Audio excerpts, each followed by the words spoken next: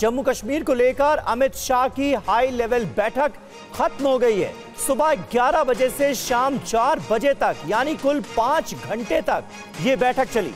अमित शाह ने निर्देश दिया है जम्मू में आतंकवाद को कुचला जाए। आतंकवाद समर्थकों पर कड़ी कार्रवाई करें।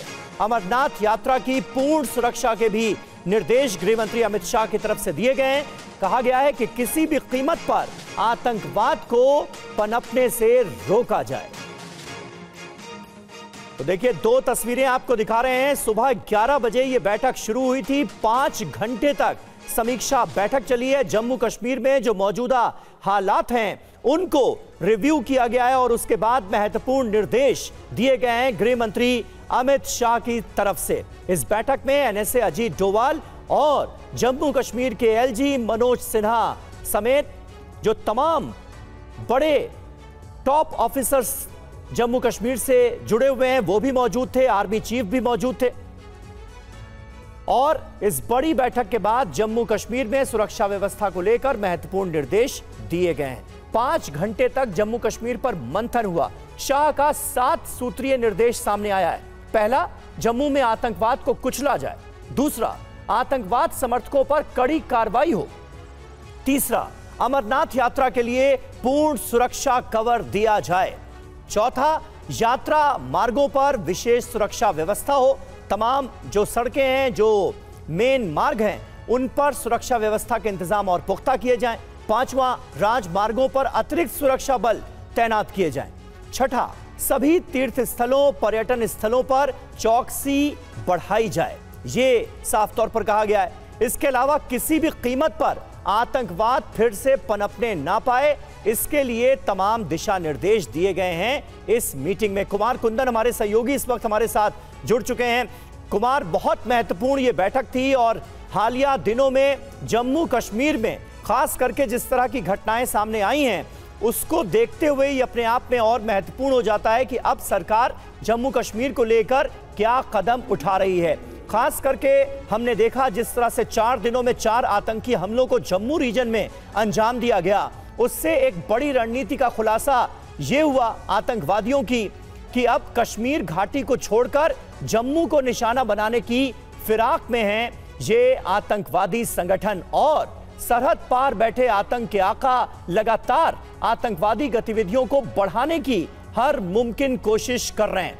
ऐसे में जम्मू कश्मीर से जुड़े तमाम top officers, NSA Ajit Doval, army chief Manoj Pande और जम्मू कश्मीर के एलजी मनोज सिन्हा के साथ गृह मंत्री अमित शाह ने एक हाई लेवल मीटिंग की है। सुबह 11 बजे यह मीटिंग शुरू होती है और शाम 4 बजे तक यह मीटिंग चलती है।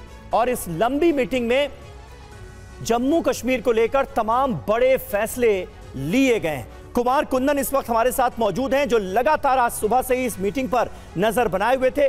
कुमार, बताइए जरा क्या अपडेट आप देना चाहेंगे? जो महत्वपूर्ण बातें अमित शाह की तरफ़ से कही गई हैं, जो फैसले लिए गए हैं, वो पॉइंटर्स के ज़रिए हमने अपने दर्शकों के सामने रखे हैं। पूरा जो इस मीटिंग का एजेंडा था और क्या लबोलुआब निकला डिटेल में बताएँ। देखिए समीर, इस पूरे बैठक के बाद जो सबसे महत्वपूर्ण बात मुझे समझ में आ रही है, उन्होंने क्रश द टेररिज्म वर्ड का जो यूज़ किया है, वो सबसे महत्वपूर्ण है कि मतलब अंग्रेज़ी में जो ये वर्ड यूज़ है कि आतंकवाद को किसी भी हालत में कुचलना है, ये सबसे बड़ा शब्द उन्होंने पूरे पाँच घंटे की मीटिंग के दौरान किया। इसके अलावा अगर हम फोकस की बात देखें समीर तो फोकस जम्मू भी था, क्योंकि अभी तक जब जे की बात होती है तो मैक्सिमम फोकस कश्मीर की तरफ़ होता है। लेकिन आज की बैठक में फोकस का एक महत्वपूर्ण बिंदु जम्मू भी था। तीसरी बात, अमित शाह ने पूरे बैठक के दौरान ये भी कही कि हमें उन बिंदुओं पर ज़्यादा चर्चा करने की ज़रूरत है, जिन बिंदुओं के माध्यम से यह हम जानने की कोशिश करें कि आखिरकार ये आतंकवादी कैसे हमारे सरहद के अंदर आ रहे हैं। हमें उन लूफोल्स पर ज़्यादा चर्चा करने की ज़रूरत है। इसके साथ साथ उन लोगों को पहचान करने की ज़रूरत है, जो उन आतंकवादियों की मदद करते हैं उनको मुहैया कराते हैं, सारे तरह के लॉजिस्टिक और तमाम तरह की चीज़ें उनको भी पकड़ने की ज़रूरत है। तो इस पूरे मीटिंग को उन्होंने दो पार्ट में एक तरीके से बांटा। जो पहला पार्ट था, उसमें जम्मू डिस्कस का बड़ा पॉइंट था और दूसरा पार्ट जो था, वो अमरनाथ यात्रा है। निश्चित रूप से रियासी की घटना के बाद से कहीं ना कहीं एक डर और खौफ का माहौल पैदा करने की कोशिश की है आतंकवादियों ने। और खास करके तब जब चार लाख से भी अधिक लोग अमरनाथ के दर्शन बिल्कुल करने कुमार जा बहुत रहे बहुत हैं, शुक्रिया बहुत बहुत शुक्रिया आपका इस ताज़ा जानकारी और अपडेट के लिए। आतंकवाद को कुचलने का ज़िक्र किया गया है इस मीटिंग में और उसके लिए तमाम प्रबंध किए गए। आगे बढ़ते हैं खबरों में। लोकसभा चुनावों के बाद ईवीएम पर राहुल गांधी का बड़ा बयान सामने आ चुका है। भारत में ईवीएम एक ब्लैक बॉक्स के समान है। किसी को भी ईवीएम को जाँच की अनुमति नहीं है, राहुल गांधी ने ये कहा।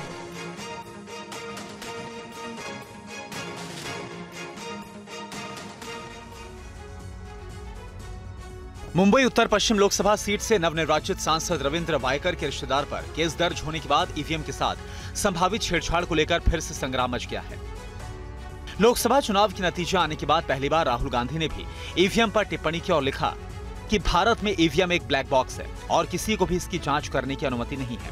हमारी चुनावी प्रक्रिया में पारदर्शिता को लेकर गंभीर चिंताएँ जताई जा रही हैं। जब संस्थानों में जवाबदेही की कमी होती है तो लोकतंत्र एक दिखावा बन जाता है और धोखाधड़ी का शिकार हो जाता है। खास बात यह है कि राहुल के बयान से पहले टेस्ला और एक्स के मालिक एलन मस्क भी ईवीएम को बदलने की बात दोहरा चुके हैं। मस्क ने कहा कि हमें ईवीएम पूरी तरह से खत्म कर देना चाहिए। इस बात की बहुत संभावना है कि इसे इंसान या एआई के ज़रिए हैक किया जा सकता है। राहुल गांधी ने सोशल मीडिया में उस अखबार की कटिंग भी लगाई है, जिसमें दावा किया गया है कि शिवसेना के सांसद के रिश्तेदार के पास ऐसा फ़ोन था जिससे ईवीएम को आसानी से खोला जा सकता है। और वहीं राहुल गांधी के इस बयान का अखिलेश यादव ने समर्थन किया तो बीजेपी ने क्या प्रतिक्रिया दी है, आप देखिए राहुल गांधी के ईवीएम पर उठाए गए सवाल के बाद समाजवादी पार्टी नेता अखिलेश यादव ने भी प्रतिक्रिया दी। अखिलेश ने भविष्य में होने वाले चुनाव को बैलेट पेपर के ज़रिए कराने के साथ ही ईवीएम से किनारा करने की सलाह दी और कहा कि टेक्नोलॉजी समस्याओं को दूर करने के लिए होती है, अगर वही मुश्किलों की वजह बन जाए तो उसका इस्तेमाल बंद कर देना चाहिए। अखिलेश ने यह भी कहा कि जब ईवीएम को लेकर गड़बड़ी की आशंका जताई जा रही है तो बीजेपी सफ़ाई दे कि इसका इस्तेमाल क्यों हो रहा है। राहुल अखिलेश की इन आशंकाओं के बीच बीजेपी ने पलटवार किया। बीजेपी नेता अमित मालवीय ने कहा कि सोशल मीडिया पर जो कुछ भी शेयर किया जा रहा है, वो शुद्ध रूप से कचरा है। मालवीय ने लिखा कि एलॉन मस्क या जिसे भी ऐसा लगता है कि ईवीएम को हैक किया जा सकता है, वो भारत के चुनाव आयोग के पास जाकर इस पर बात कर सकता है। राहुल गांधी भारतीय लोकतंत्र की शिकायत एलॉन मस्क से क्यों कर रहे हैं? मस्क क्या कर सकते हैं? बीजेपी नेता राजीव चंद्रशेखर ने कहा कि भारतीय ईवीएम कस्टम डिज़ाइन है, सुरक्षित है और किसी भी नेटवर्क या मीडिया से अलग है। लिहाजा इसमें गड़बड़ी संभव नहीं है। और ईवीएम को लेकर मचे इस नए घमासान के पीछे की पूरी कहानी क्या है, इस रिपोर्ट में देखिए।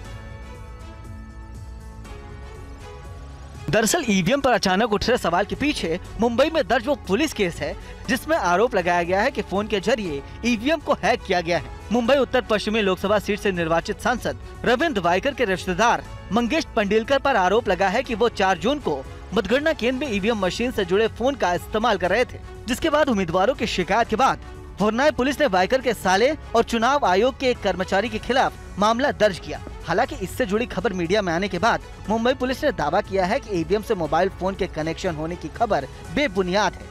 पुलिस ने जानकारी दी है कि मोबाइल सीज करने के बाद फॉरेंसिक जाँच के लिए भेज दिया गया है। लिहाजा किसी भी नतीजे पर पहुँचना ठीक नहीं है। इस पूरे विवाद के पीछे एक हैरान करने वाला पक्ष ये भी है कि मुंबई उत्तर पश्चिम लोकसभा सीट से शिवसेना उम्मीदवार रविंद्र वाइकर रिकाउंटिंग के बाद शिवसेना उद्धव गुट के अमोल कार्तिका से महज 48 वोट से जीत गए थे, जिसके बाद उद्धव गुट ने धोखाधड़ी का आरोप लगाते हुए मांग की कि पूरे मामले की निष्पक्ष जाँच की जाए।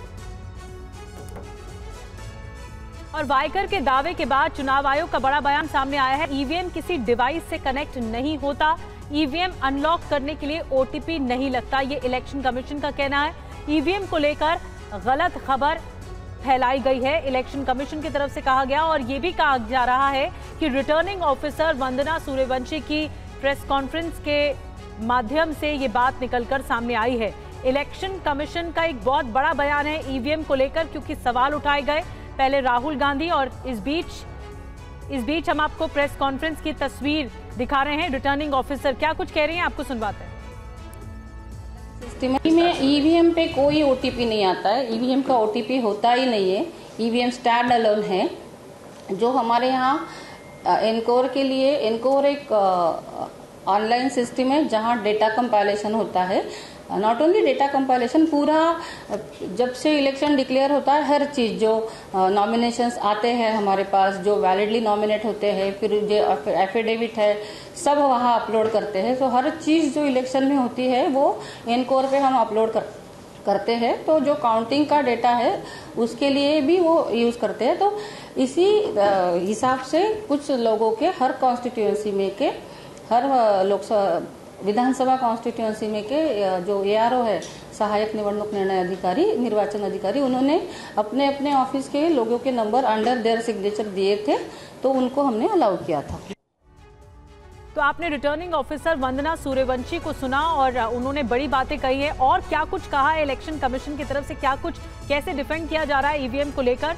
राजीव और ज़्यादा जानकारी दे रहे राजीव साफ़ साफ़ कहा जा रहा है कि ईवीएम को लेकर गलत खबर फैलाई गई।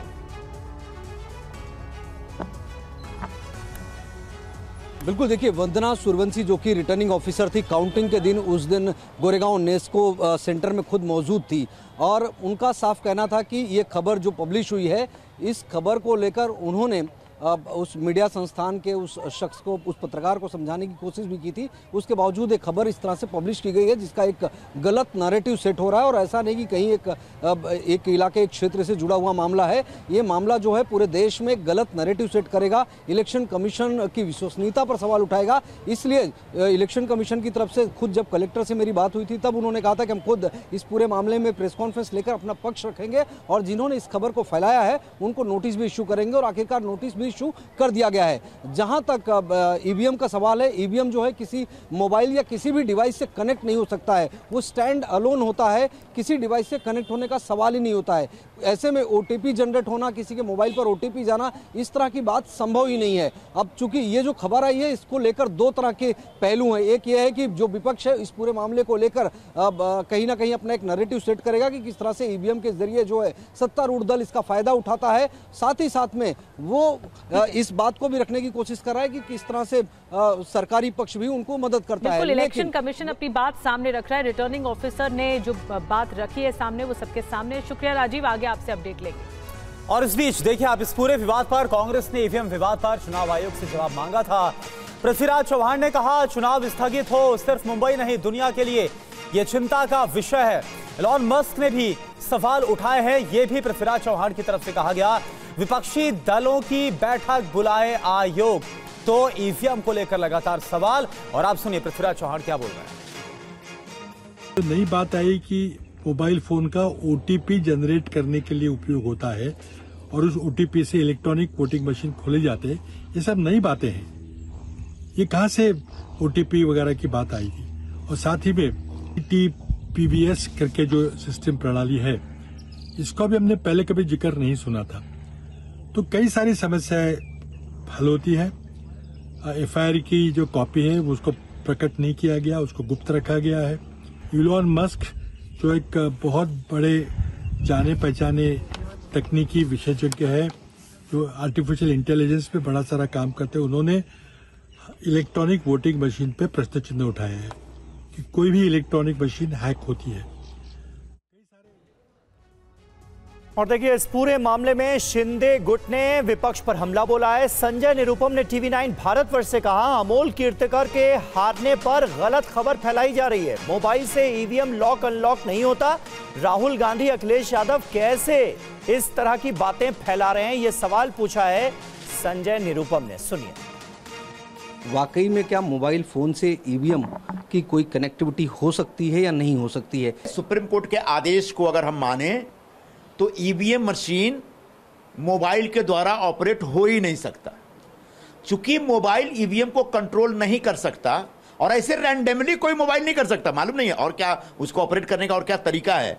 लेकिन कोई उम्मीदवार का जो साला है वो अपने मोबाइल से ईवीएम को ऑपरेट कर रहा है। ये ओटीपी पे चलने ओटीटी पे चलने वाले जो सीरीज़ हैं, उसकी एक कहानी हो सकती है।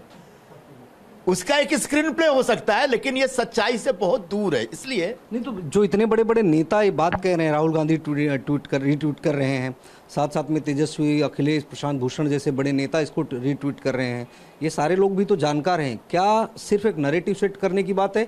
या फिर वाकई में जैसा कि आप कह रहे हैं कुछ नहीं होता है इस तरह से कनेक्ट होता ही नहीं। दो बातें हैं। एक तो सचमुच सारे इतने बड़े जानकार हैं इस पे आज मुझे शक हो रहा है। और ये जानकार हैं क्या? मुझे शक नहीं करना चाहिए। तो ये जानबूझ के फर्जी नैरेटिव एक फेक नैरेटिव सेट कर रहे हैं।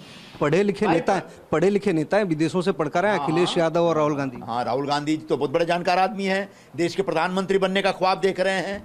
और उन्होंने इस फर्जी खबर को उठा करके ईवीएम मशीन मोबाइल से ऑपरेट हो रहा, हो रही है और मोबाइल पे ईवीएम मशीन का ओटीपी आ रहा है। इस जानकारी पर विश्वास करना अपने आप में एक हास्यास्पद मामला है। और आइए खबरों में आगे बढ़ते हैं। एनसीईआरटी की बारहवीं की पॉलिटिकल साइंस की नई किताब से बाबरी मस्जिद का नाम हटा दिया गया है। नई किताब में इसे तीन गुंबद वाला ढांचा बताया गया है।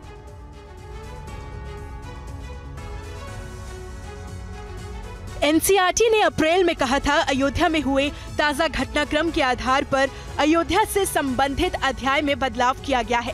जानकारी के मुताबिक, बारहवीं क्लास की नई किताब में अयोध्या के चैप्टर में बदलाव किया गया है। अयोध्या विवाद को लेकर सुप्रीम कोर्ट के फैसले को शामिल किया गया है। इसे अब तीन गुंबद वाला ढांचा कहा गया है। अयोध्या वाले अध्याय को छोटा करके चार पेज की जगह अब दो पेज में कर दिया गया है। चैप्टर में बताया गया है कि ढांचे में कई हिंदू धर्म से जुड़े निशान मिले थे और आंतरिक और बाहरी दीवारों पर मूर्तियाँ मिली थी। 2014 के बाद से चौथी बार बदलाव किया गया है। मामले पर राम मंदिर के मुख्य पुजारी आचार्य सत्येंद्र दास का कहना है कि अगर किताबों में बदलाव नहीं होगा तो आगे इतिहास कैसे जाना जाएगा? तो रामलला अभी भी जो वर्तमान समय में भी इस नए मंदिर में विराजमान हैं, इसको नहीं दर्शाएँगे। फिर पूरा इतिहास जो होगा, यह सामान्य रूप से सबको कैसे पता चलेगा? और इस बदलाव पर एनसीआरटी डायरेक्टर का बयान भी सामने आया है। सबूत और तथ्य के आधार पर इस बदलाव को किया गया है। पाठ्यक्रम का भगवाकरण करने की कोई कोशिश नहीं है। अगर कुछ अप्रासंगिक हो तो बदलाव होगा यह कहा गया है।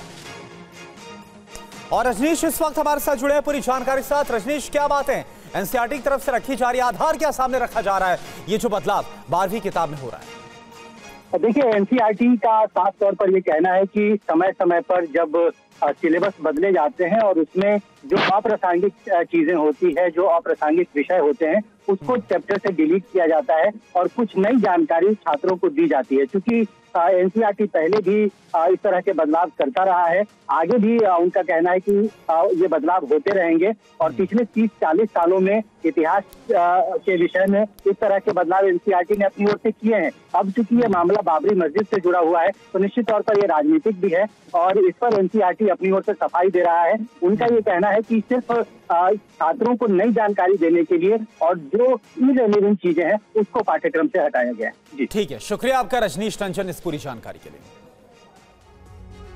और नीट मामले पर बोले शिक्षा मंत्री धर्मेंद्र प्रधान कुछ जगहों पर गड़बड़ियाँ सामने आई हैं। मामले में शामिल अफसरों को छोड़ा नहीं जाएगा। किसी भी गुनहगार को बख्शेंगे नहीं। एनटीए में बहुत सुधार की आवश्यकता है, ये माना है शिक्षा मंत्री धर्मेंद्र प्रधान ने। सरकार ने मामले को गंभीरता से लिया है, ये भरोसा उनकी तरफ़ से दिलाया गया। दो जगह पे कुछ गड़बड़ियों की भी ध्यान आई है। मैं छात्रों को और अभिभावकों को आश्वस्त करता हूँ, उसको भी सरकार बड़े गंभीरता के साथ लिया है वो जानकारी हमको मिली है।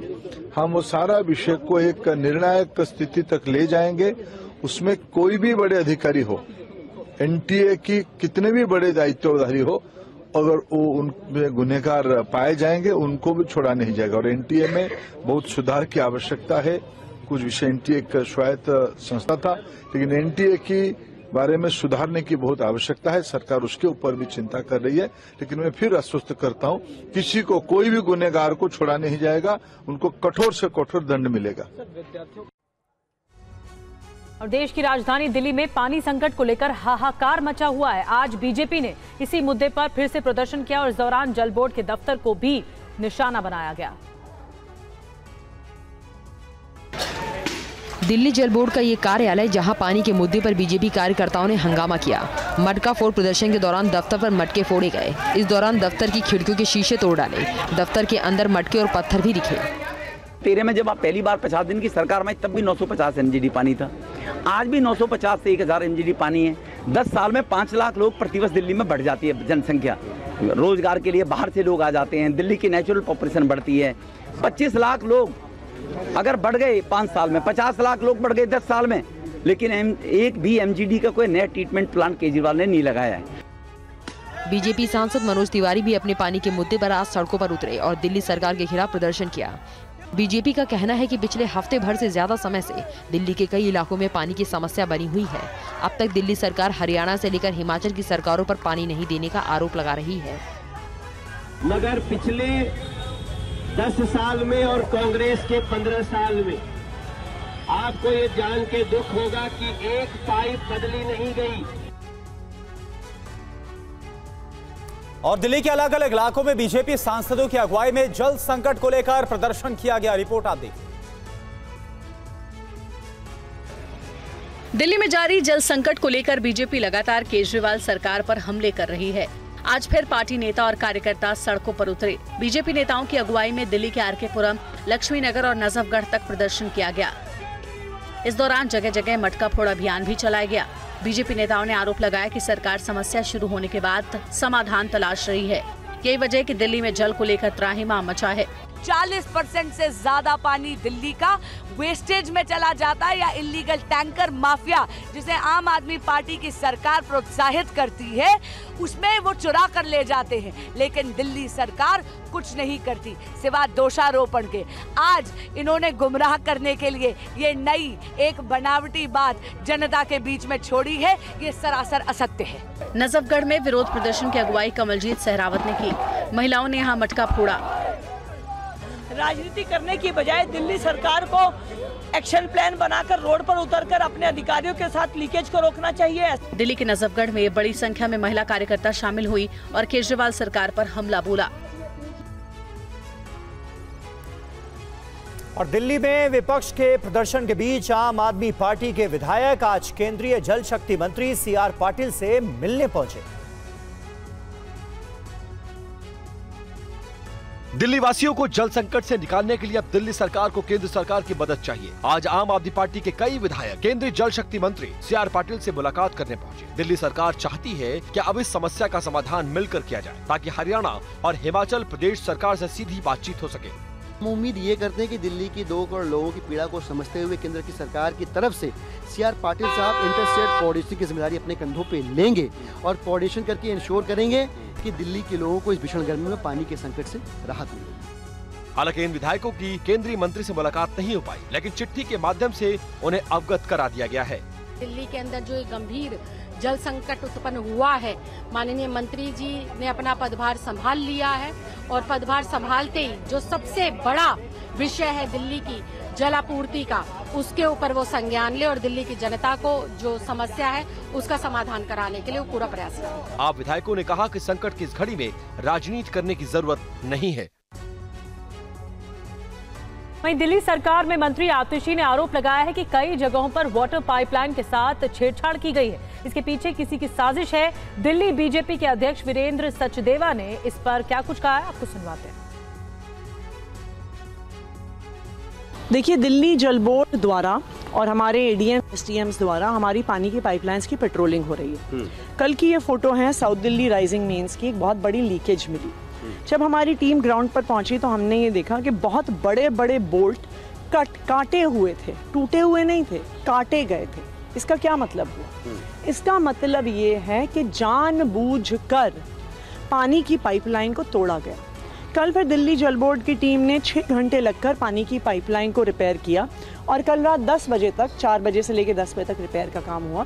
और साढ़े दस बजे तक पानी की पाइपलाइन में फिर से पानी चालू पानी चालू होगी। दिल्ली की जल मंत्री झूठ बोलती हैं। दिल्ली की जल मंत्री से पूछो जाके कि इंद्रपुरी के बुद्ध विहार में पैंतीस पैंतीस हज़ार रुपए देके अवैध कनेक्शन देने का काम किसने किया? जवाब दे आतिशी मार लेना। उनके विधायकों ने किया ये बात वो जानती हैं कि पानी की चोरी वो करवा रही है इसलिए उनके मुँह से एक शब्द नहीं निकलता। वाटर टैंकर की जहाँ शिकायत आती है हम भी कोशिश करते हैं पहुँचाने की लेकिन दिल्ली की जनता को समझना होगा कि फ्री पानी के चक्कर में आपने एक ऐसी चोर और लुटेरी सरकार को बिठाया है जिसने आपको लूटने का काम किया।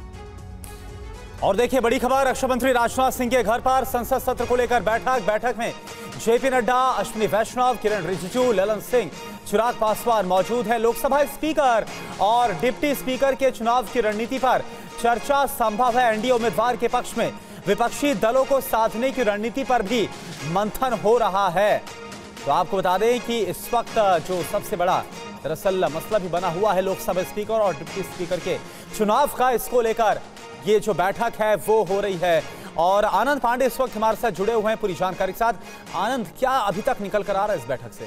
क्या जानकारी? देखिए चार बजे से रक्षा मंत्री राजनाथ सिंह के घर पे बैठक चल रही है क्योंकि रा, Rajnath Singh cabinet committee and parliamentary affairs के अध्यक्ष भी हैं तो ऐसे में उनके घर पे ये बड़ी बैठक चार बजे चल रही है। इस बैठक में जैसे आपने बताया जेपी नड्डा अश्विनी वैष्णव तो मौजूद ही है। सहयोगी दलों से चिराग पासवान और ललन सिंह भी मौजूद है। इस बैठक में चर्चा की जा रही है कि संसद का जो आगामी सत्र शुरू होने वाला है अगले हफ़्ते से उसको लेकर क्या रणनीति रहे? और चूँकि स्पीकर और डिप्टी स्पीकर के का भी इसमें चुनाव होगा तो ऐसे में डिप्टी स्पीकर और स्पीकर को लेकर सहयोगियों की भी राय ली जा रही है। और अगर चुनाव की नौबत आती है वोटिंग की नौबत आती है तो उस वक्त क्या रणनीति रहेगी और क्या सहयोगियों से के साथ साथ जो विपक्ष से कुछ नेता है क्या उनको भी अप्रोच किया जा सकता है कैसे डिप्टी स्पीकर और स्पीकर का चुनाव जो है बिना वोटिंग के हो जाए यानी कि एक आम सहमति हो जाए? इसके इसको लेके क्या रास्ते निकल सकते हैं उसको लेके भी अभी बैठक में चर्चा चल रही है। शुक्रिया आपका आनंद प्रकाश पांडे इस पूरी जानकारी के लिए। और केंद्रीय मंत्री गिरिराज सिंह का बकरीद को लेकर बड़ा बयान बकरीद पर प्रशासन सख्ती करे लॉ एंड ऑर्डर के लिए पूरी ताकत लगाई जाए सार्वजनिक जगहों पर बकरे ना काटे जाएँ। ये कहा है गिरिराज सिंह ने मोदी सरकार में तीसरी बार मंत्री बनने के बाद बेगूसराय पहुँचे थे गिरिराज सिंह और वहीं पर उन्होंने ये बयान दिया मैं बेगूसराय सहित देश के तमाम एडमिनिस्ट्रेशन से, जिला के एसपी, डीएम से आग्रह करूँगा कि सामाजिक सौहार्द बना रहे, सार्वजनिक जगह पर बकरी का कटाई न हो। जिससे आपसी द्वेष फैले ये काम प्रशासन को करना है। और कल ईद उल अजहा का त्यौहार मनाया जाएगा। आज दिल्ली से लेकर उत्तर प्रदेश तक बकरा बाज़ार में खूब रौनक देखी जा रही है। बकरा बाज़ार में खूब रौनक है। दिल्ली के जामा मस्जिद के पास बड़ी संख्या में विक्रेता पहुँचे।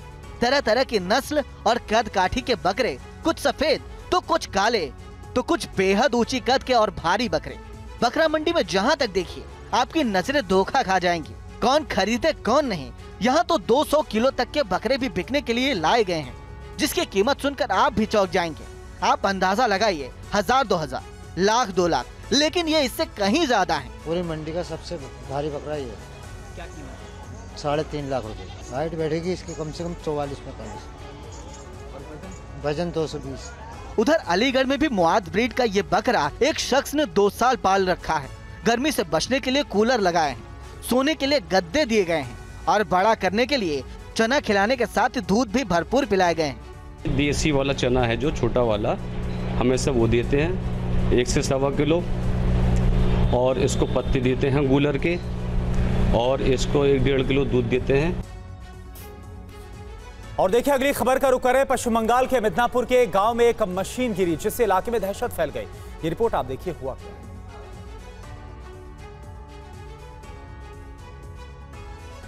मशीन की लाल बत्ती जल रही है।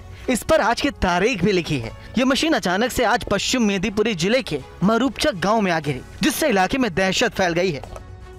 তার আছে এখানে লাইনের তার তাই দেখলাম একটা বেলুন বেলুন ঝুলছে দিয়ে বেলুনটা ফাটা না কিছুই বুঝতে পারছি না কি কি আছে না আছে এটা আমরা কিছু মেশিনটাতে কিছু লেখা রয়েছে হ্যাঁ মেশিনটাতে তারিখ দেওয়া আছে আতঙ্ক লাগছিল হ্যাঁ আতঙ্ক লাগছিল তারপরে কি পুলিশ এসে উদ্ধার করে নিয়ে গেছে তারপরে পুলিশ এসে गांव वालों ने पुलिस को तुरंत खबर दी चंद्रकोश थाने की पुलिस ने डिवाइस की पड़ताल की जिस पर वेदर लिखा है हाथ से आईएमडी कोलकाता भी लिखा है साथ ही एक रस्सी भी इसमें बंधी है। इस रस्सी से गुब्बारा लगा था, जो फट गया।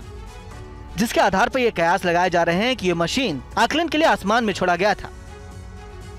पुलिस ने मशीन को कब्जे में ले लिया है और अपने साथ ले गई। है लोगों का कहना है कि मशीन से रोशनी चमकने की वजह से वो घबरा गए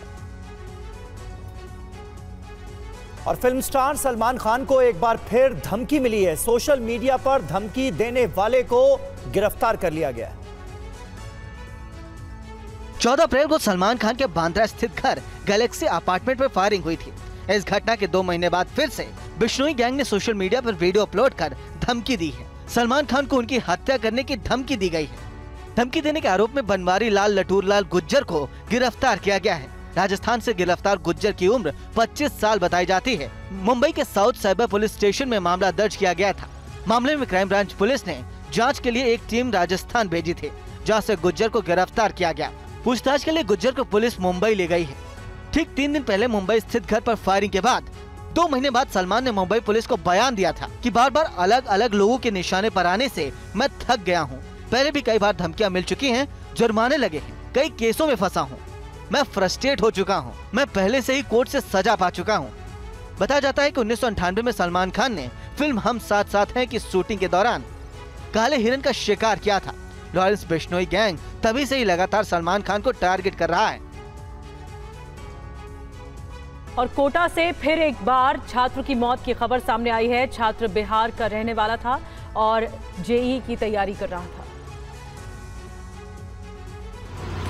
कोटा के महावीर नगर का ये घर सूना पड़ा है। गलियाँ खामोश है, मातम पसरा है। ये मातम है एक होनहार की मौत का। बताया जाता है कि इसी घर में रहकर करीब दो साल से एक छात्र जेईई की तैयारी कर रहा था। छात्र बिहार के मोतिहारी का रहने वाला था। पुलिस ने शव को पोस्टमार्टम के लिए भेजा है। परिजनों को छात्र की मौत की खबर दी गई है। बताया जाता है कि जब छात्र कमरे से बाहर नहीं निकला तो उसके दोस्तों ने पेइंग गेस्ट हाउस के मालिक को खबर की, जिसके बाद घर के दरवाजे का ताला तोड़ा गया, जहाँ छात्र का शव फंदे से लटका मिला। घटना स्थल से पुलिस को कोई नोट नहीं मिला है। मामले की जाँच की जा रही है। कोचिंग नगरी कोटा में मौत का सिलसिला थम नहीं रहा है। इससे पहले, इसी महीने के पहले हफ़्ते में ही कोटा में नीट की तैयारी कर रही मध्य प्रदेश के रीवा की रहने वाली बागीशा तिवारी नाम की छात्रा ने बिल्डिंग से कूदकर सुसाइड कर लिया था। एक दिन पहले ही छात्रा का नीट का रिज़ल्ट आया था। बताया जाता है कि इस साल अब तक 11 छात्रों ने आत्महत्या कर ली है। 2023 के आंकड़ों की बात करें तो उनतीस स्टूडेंट्स ने सुसाइड किया था। खबर जम्मू कश्मीर से। जम्मू कश्मीर के उधमपुर के जंगलों में इन दिनों आग लगी हुई है। आग बुझाने की कोशिशें लगातार जारी। जंगल धुआँ धुआँ है। पूरा का पूरा जंगल जैसे धुएँ और आग की जद आगोश में है। पेड़ का सीना जल रहा है। आग पेड़ों से जैसे चिपकी है। आग पेड़ों से लिपटी है। आग की यह विनाश लीला है जम्मू कश्मीर के उधमपुर के तिरछीबाली ब्लॉक की, जहाँ इकसठ कंपार्टमेंट वन क्षेत्र आग फैली है। बताया जाता है कि तिरछीबाली के जंगलों में दुर्लभ पक्षी और मोर बहुत पाए जाते हैं। कई बेशकीमती वनस्पतियाँ भी यहाँ मिलती है। आग की वजह से ये जल रहे हैं। बड़ी संख्या में पेड़ पौधे खाक हो गए। वन विभाग के मुताबिक पेड़ों के साथ कई जानवरों के भी झुलसने और मरने की खबरें हैं। लाखों रुपए की वन संपदा नष्ट हो गई है। त्रिशी बाली समेत चरत पखलाई कालदी और मांड समेत कई इलाकों में गर्मी की वजह से आग लग रही है। बताया जाता है कि स्थानीय लोग आग बुझाने में लगातार मदद कर रहे हैं जिससे काफ़ी हद तक नियंत्रण पाया गया है। कई बार आंधी के चलते भी चूल्हे की आग भी बाहर फैल सकती है तो हमारी लोकल लोगों से अपील है कि आप ज़्यादा से ज़्यादा इन चीज़ों का ध्यान दें। और दिल्ली के मुंडका इलाके में गत्ता फैक्ट्री में आग लग गई। हादसे की गंभीरता को देखते हुए आसपास की फैक्ट्रियों को खाली कराया गया। ये तस्वीरें दिल्ली के मुंडका इंडस्ट्रियल इलाके के एक कार्डबोर्ड फैक्ट्री में लगी भीषण आग की है। फैक्ट्री में सुबह लगी आग जल्द ही भीषण रूप में बदल गई। फायर ब्रिगेड की करीब 35 गाड़ियों ने कई घंटों की मशक्कत के बाद आग पर काबू पाया। हादसे में अभी तक किसी के हताहत होने की कोई सूचना नहीं है। आग लगने के कारणों का अब तक पता नहीं चल सका। फायर ब्रिगेड अधिकारी के मुताबिक सुबह करीब सवा सात बजे आग लगने की सूचना मिली थी, जिसके तुरंत बाद ही दमकल की गाड़ियों को घटनास्थल के लिए रवाना कर दिया गया। ग्राउंड प्लस थ्री बिल्डिंग है ये, और पूरा इसमें मटेरियल भरा हुआ जिसमें रॉ मटेरियल भी है फिनिश्ड वुड भी है, और पैकिंग भी इनकी रखी हुई है कुछ। अब ये इसमें इसमें ये एलईडी लाइट्स वगैरह कुछ बनाते हैं तो वो फिनिश्ड गुड भी है रॉ मटेरियल भी है पैकिंग मटेरियल भी है तो सभी उसमें ये आ गया cause of fire loss due to fire can not be ascertain आग लगने के बाद पूरे इलाके में हड़कंप मच गया। फैक्ट्री से आग की लपटी और धुएँ का गुबार दिखा। आग को देखते हुए आसपास की फैक्ट्रियों को खाली कराया गया। वहीं हरिद्वार से खबर ये है कि लोग भीषण ट्रैफ़िक जाम से परेशान नज़र आ रहे हैं। शहर के कई रास्तों पर गाड़ियाँ रेंगती नज़र आई। गंगा दशहरा और वीकेंड पड़ने से हरिद्वार में काफ़ी भीड़ बढ़ी हुई है। भीषण जाम की ये तस्वीरें धर्मनगर हरिद्वार से सामने आई हैं जहाँ गंगा दशहरा वीकेंड और निर्जला एकादशी स्नान पर्व को लेकर लोगों की भारी भीड़ पहुँची है। देश के कई राज्यों से लोग हरिद्वार पहुँचे हैं। इसी के चलते हाईवे से लेकर शहर के अंदर तक भारी जाम लग गया है। रुड़की बॉर्डर से लेकर हर की पौड़ी तक गाड़ियों की लंबी कतार नज़र आई। भयंकर जाम में फंसे लोग गर्मी से खासे परेशान नज़र आए। पुलिस की ट्रैफ़िक मैनेजमेंट करने की तैयारियों फेल होती दिख रही है। दशहरा और साथ में लॉन्ग वीकेंड के कारण काफ़ी ज़्यादा दबाव आज ट्रैफ़िक का है। बहुत सारा ट्रैफ़िक आज हमारी पार्किंग ऑलमोस्ट सभी फुल हो गई है। बैरागी हमारा इस समय एक्टिवेट है। रूट डाइवर्जन हमारे द्वारा किया गया है। उसके बावजूद काफ़ी ज़्यादा ट्रैफ़िक इस समय हमारा आ रहा है। तो हम इसके एग्जिट के लिए हम लोग सभी सभी ऑफिसर्स जितने हमारे जोन और सेक्टर में लगे हैं, यूपी और दिल्ली से आने वाले कई पर्यटकों की भारी भीड़ की वजह से दिल्ली हरिद्वार हाईवे पर ट्रैफ़िक को डाइवर्ट कर काबू पाने की कोशिश जारी है। और 21 जून को अंतर्राष्ट्रीय योग दिवस है। इसकी तैयारियाँ पूरे देश में चल रही हैं। रिपोर्ट आप देखिए